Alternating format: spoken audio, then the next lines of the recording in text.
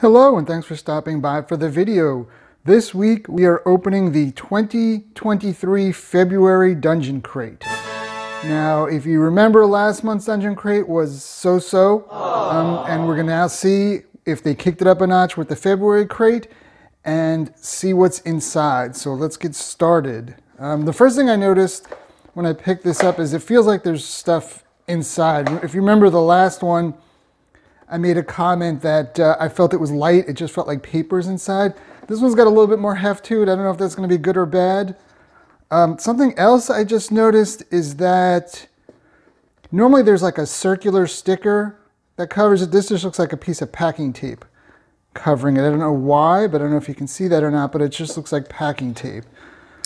So let's uh, open this up and see what we've got.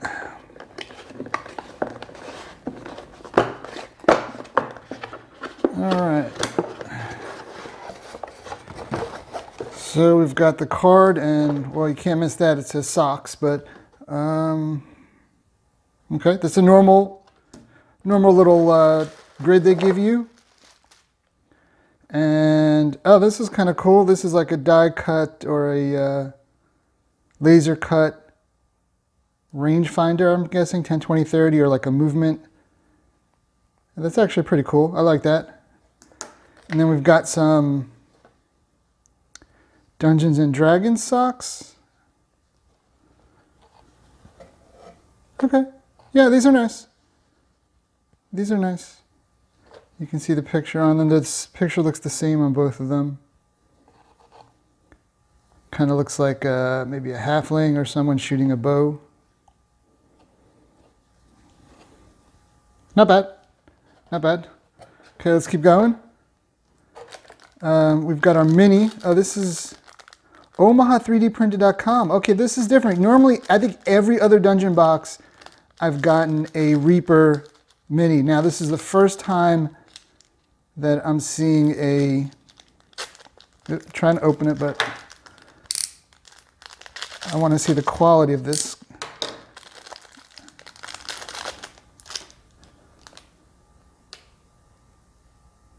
Okay, nice mini. I like it.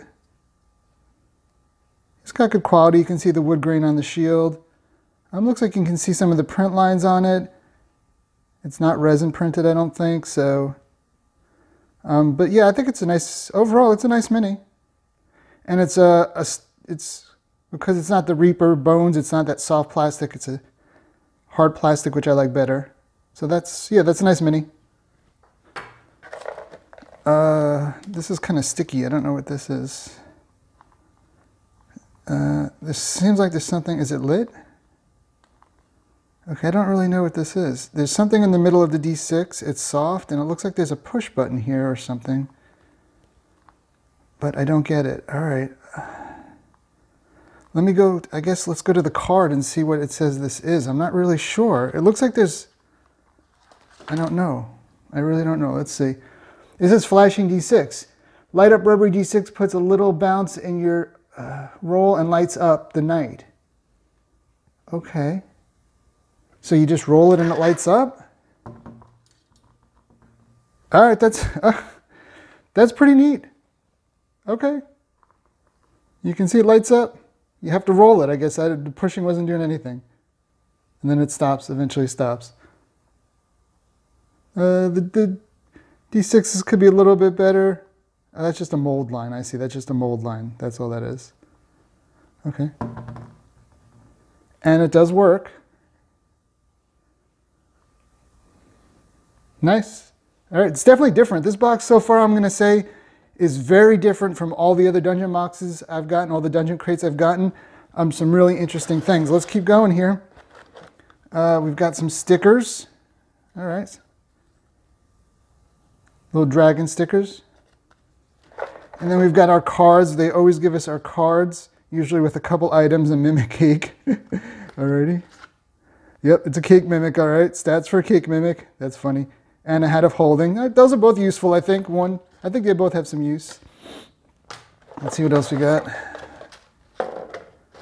Okay, and these are going to be like, uh, I see the birthday bash, and then these are going to be the module or the encounter for the equipment cards that you got. Difficulty hard, stealing the sword. Okay, yeah, usual.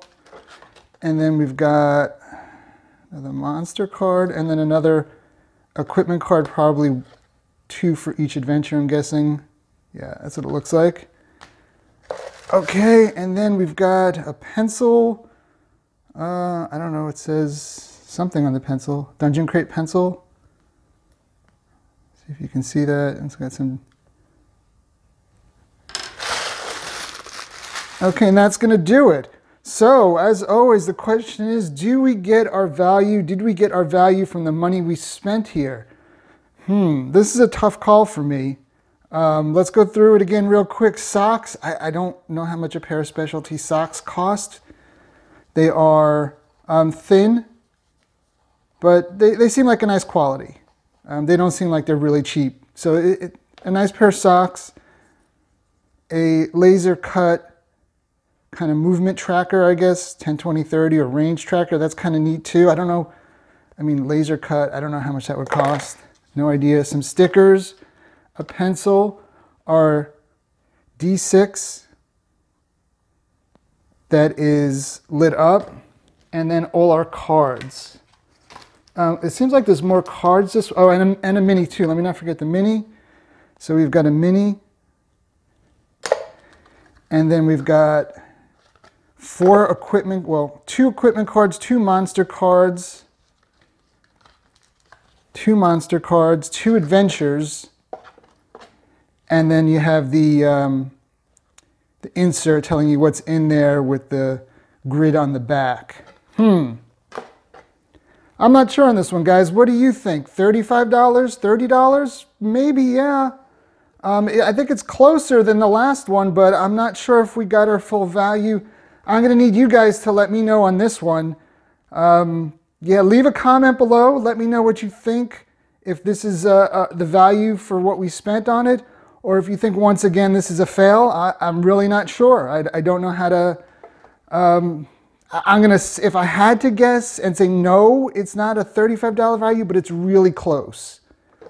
Um, I, I, don't know how much socks cost. Uh, $15 for specialty socks. This is I mean, it's got an LED inside and it flashes. I don't know, $10. I don't know. So it's, it's close. If it is, it's close. Uh, let me know what you think. If it's a yes or no, uh, leave a thumbs up if you like the video. I really appreciate it. Go ahead and subscribe as well if you haven't. And head over to my Ko-fi shop and see what's in there. There's some really cool stuff. I'll leave a link below. But thanks for stopping by. I really appreciate it. And I will catch you on the next one.